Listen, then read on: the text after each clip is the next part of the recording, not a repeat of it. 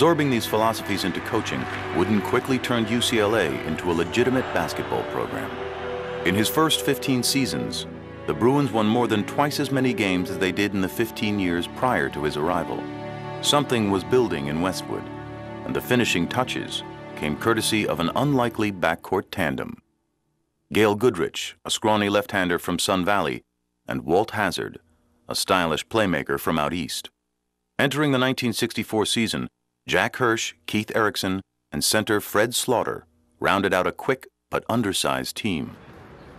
Slaughter was UCLA's student body president, and at just six foot five, the Bruins' tallest player. To compensate, assistant coach Jerry Norman helped design a smothering and revolutionary defense.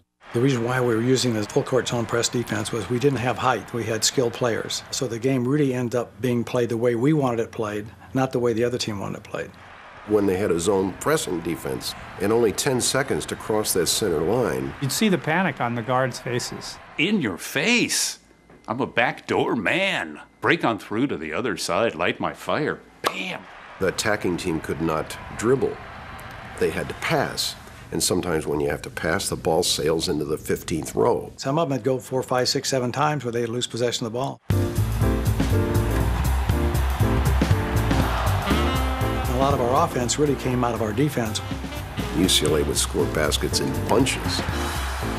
They'd be 10 points ahead, and then suddenly they'd be 25 points ahead. Baskets would happen that rapidly. Dun, dun, dun, dun, dun, dun, dun, dun. Those guys were passing and running and passing. Dun, dun, dun, dun. And finally, there's the open man layup. Dun, dun, dun, dun. Passing, passing, passing. Shot Gail Goodrich. Boom. Left handed. Walt Hazzard, passer, ball handler. Just a genius, man. The finesse, the grace, the ballet. Triggered by the zone press, the Blitzen Bruins held opponents to just 70 points per game during an improbable, undefeated regular season.